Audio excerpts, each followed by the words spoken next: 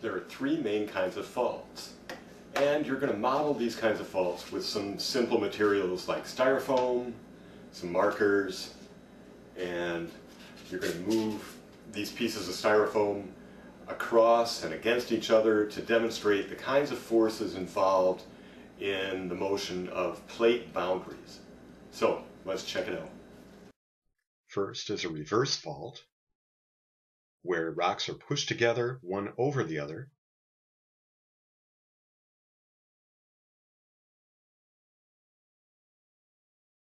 A normal fault is where rocks spread out, one pulling away from the other.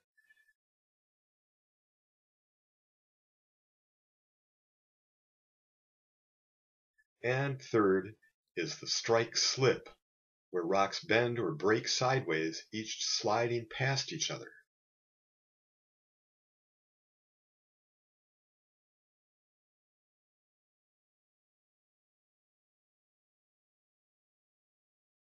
You're going to start out by making a model of a reverse fault. You're going to take some styrofoam and use colored pencils or markers to create at least three horizontal layers on the sides of your blocks. Have an adult help you cut the block into two pieces at an angle. Next, place the two cut blocks together face to face. The left block is block B, the right block is block A. The side where the two cut surfaces touch is the fault line. Slowly push the two pieces together so that block A slides upward.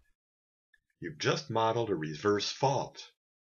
Reverse faults are formed from pushing forces, also called compression forces. Study this picture of a reverse fault. It shows how your fault moved looking from the side. Look closely at the direction of the forces and the direction in which the blocks moved. Now answer the questions on your student guide. Now you're going to make a model of a normal fault. Return the styrofoam pieces to their original positions.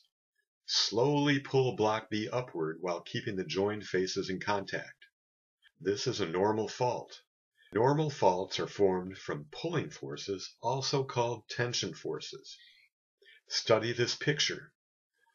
Look closely at the directions of the forces and the direction in which the plates moved. Again, go to your student guide and answer the questions. Finally, you'll make a model of a strike-slip fault. And now move both blocks so they slide sideways past each other. This is a strike-slip fault. Strike-slip faults are formed from sideways forces or shear forces. The blocks respond differently when they're pushed past each other from the side. Look at this illustration. Compare it with the illustrations from your first two trials.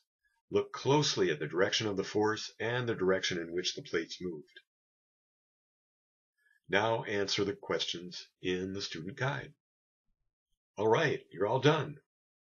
Now do the adult graded questions in the lesson in the OLS.